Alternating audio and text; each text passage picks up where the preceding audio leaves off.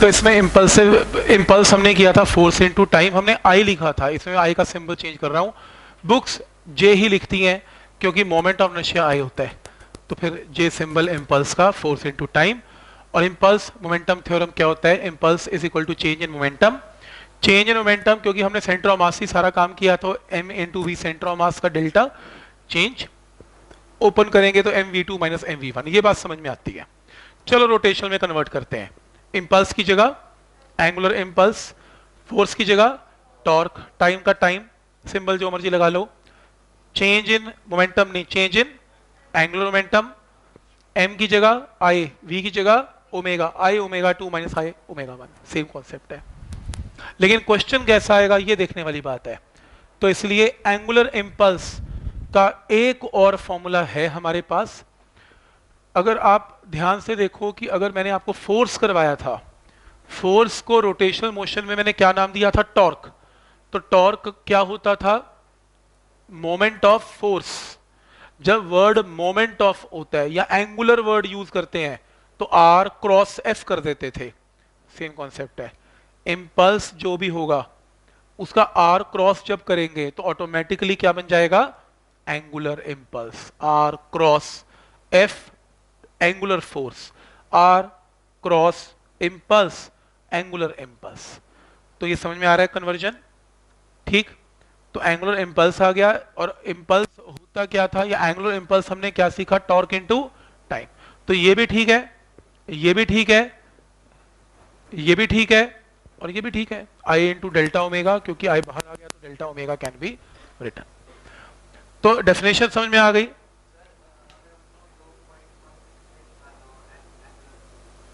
नहीं नहीं नहीं नहीं नहीं नहीं नहीं निकालना कैसे? वो नहीं, अभी सिखाया। फॉर्मूला समझ में आ गया? मैं मैं, वो वो angular momentum M V R वो M V R angular momentum है। और वो कैसे यूज़ करना है? दो मिनट, दो, मैं आप उसके ऊपर आने वाला हूँ दो मिनट। पहले थोड़ा थ्योरी बता दू। क्या ये पॉइंट क्लियर है यहाँ तक? क्योंकि नहीं तो कंफ्यूज हो जाओगे एल में और एंग्लो इम्पल्स में। ध्यान से। फिर देखते हैं। क्या ये डेफिनेशंस क्लियर है? तो angular impulse R cross impulse या फोर्स इनटू टाइम की जगह टॉर्क इनटू टाइम या चेंज इन एंगुलर मोमेंटम ये डेफिनेशन क्लियर है। हालाँकि मैंने नीचे लिखने की कोशिश की है नोट बना के कि जैसे हम फोर्स करते थे, वैसे हम एंगुलर फोर्स टॉर्क करते थे। जैसे हम लीनियर मोमेंटम पी करते थे, इसमें एंगुलर मोमेंटम एल करते हैं। जैसे हम और एंगुलर मोमेंटम का फॉर्मूला क्या होता था? R cross P R cross F same concept है। इंपल्स क्या था? जे और एंगुलर इंपल्स क्या है? आर क्रॉस जे तो रोटेशनल मोशन किसने का मुश्किल है। ठीक? तो सेम कॉन्सेप्ट ही यूज़ करता जा रहा है जो बाकी फिजिक्स करती है। तो इसीलिए तो सिंबल्स हैं। एंगुलर फोर्स को या टॉर्क को टाउ से रिप्रेजेंट करते हैं। एंगुलर मोमेंटम को एल से करते हैं। इंपल्स को जे से करते हैं। एंगुलर इंपल्स को आर क्रॉस जे से करते हैं। क्लियर है यहाँ तक? क्वेश्चन ये बहुत फ़ेमस है। इस टाइप के क्वेश्चन बहुत आते हैं। एक रॉड पड़ी हुई है। और प्लीज़ जब भी ये क्वेश्चन दूँ, अभी पिछली क्लास की बात है, एक स्टूडेंट आया, वो कहता है, यार, पता मतलब क्वेश्चन सब सीख गया, आ गया रोटेशनल ठीक है स्टिक के क्वेश्चन भी किए। तो मैंने कहा, एक क्वेश्चन पूछ रहा था कि स्टिक के क्वेश्चन कैसे करने हैं, या एक नई प्रॉब्लम लेके आया था तो मैंने कहा, करवाई तो ही है। कहता, देखो, आपने करवाई थी।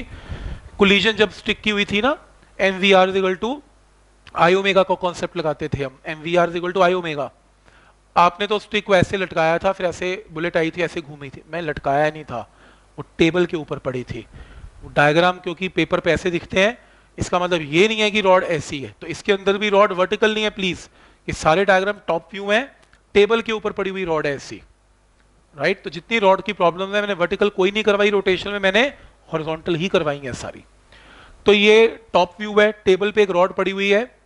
आप याद करो, एक बुलेट आती थी, बुलेट हिट करती थी, रॉड घूमती थी बुलेट का लीनियर मोमेंटम गिवन होता था एम वी तो हम क्या रूल लगाते थे? M V into D is equal to I times omega ये रूल था।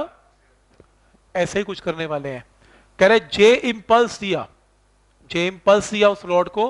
सेंटर ऑफ़ मास मूव कर रहा है आगे की तरफ़, क्योंकि आप इसको जब इम्पल्स दोगे तो ये रॉड जो है, वो आगे भी मूव करेगी और घूमेगी भी। दोनों चीज़ें होंगी। तो सेंटर ऑफ़ मास की पहले वेलोसिटी बताओ और ओमेगा बताओ। तो जे होता क्या है? जे का मतलब इंपल्स जब भी क्वेश्चन सेंटर ऑफ़ मास का आएगा, उसमें रोटेशन का कोई कॉन्सेप्ट यूज़ नहीं होगा। क्योंकि सेंटर ऑफ़ मास किस मोशन में होता है? ट्रांसलेशन ट्रांसलेशन बाकी रॉड के पार्टिकल किसमें होते हैं? इन रोटेशन अगर क्वेश्चन ओमेगा पे आएगा, फिर रोटेशन का कॉन्सेप्ट अगर question V centre of mass पे आएगा तो ट्रांसलेशन का कॉन्सेप्ट तो एक इक्वेशन किसमें ट्रांसलेशन ट्रांसलेशन की इक्वेशन किसमें बनेगी? सेंटर ऑफ़ मास पे. और इंपल्स होता क्या है? चेंज इन मोमेंटम तो चेंज इन मोमेंटम के अंदर पहले जो है जो रॉड है, किस पे पड़ी हुई थी? रेस्ट पे. और अब किस पे मूव कर रही है? M into V centre of mass तो change in momentum is impulse तो वी सेंटर ऑफ़ मास क्या आ गया? जी बाई एम क्या ये पॉइंट क्लियर है यहाँ तक? ठीक है यहाँ तक?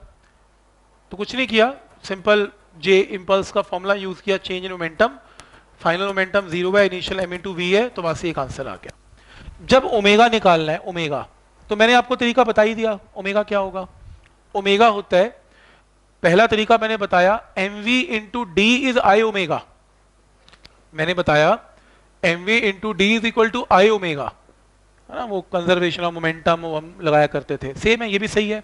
लेकिन इसको और बेटर रिप्रेजेंट करने का ये तरीका है कि आप रोटेशन में यूज़ करो एंगुलर इंपल्स एंगुलर इंपल्स क्या होता है? J linear impulse into perpendicular distance from the axis तो लीनियर इंपल्स कितना है? जे परपेंडिकुलर डिस्टेंस एक्सेस से कितना है? D J D J into D sorry मैंने बोला हाँ तो निकाला मैंने एंगुलर इंपल्स मैंने बोला angular impulse is linear impulse into perpendicular distance जैसे angular momentum is linear momentum into perpendicular distance एक मिनट एक minute. Impulse impulse into perpendicular distance angular impulse जैसे जैसे linear momentum into perpendicular distance angular momentum जैसे force into perpendicular distance torque वैसी impulse into perpendicular distance is angular impulse ऐसे। ठीक है ना? तो एंगुलर इंपल्स क्या निकलेगा? जे इंटू डी क्लियर है। लीनियर इंपल्स लीनियर जे का मतलब एंगुलर नहीं है। जे का मतलब लीनियर इंपल्स है। इंटू परपेंडिकुलर डिस्टेंस डी और हमने आज क्या सीखा? एंगुलर इंपल्स क्या होता है? चेंज इन एंगुलर मोमेंटम अब चेंज इन एंगुलर मोमेंटम में क्या है?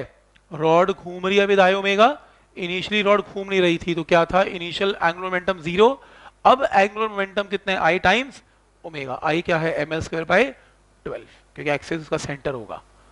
ओमेगा जाएगा यहाँ से. तो पॉइंट समझ में आ रहा है कि ओमेगा कैसे निकालेंगे? जे की टर्म में. और सेंटर ऑफ़ मास कैसे निकालेंगे? जे की टर्म में. तो एक इक्वेशन ट्रांसलेशन की और एक इक्वेशन रोटेशन की पॉइंट समझ में आ रहा है यहाँ तक? ठीक?